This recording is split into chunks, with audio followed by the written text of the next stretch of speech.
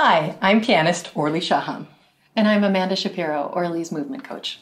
Welcome to our series, Beyond the Fingers. Uh, we're so happy to share this series with you of mobility, flexibility exercises designed for use at the piano or anywhere.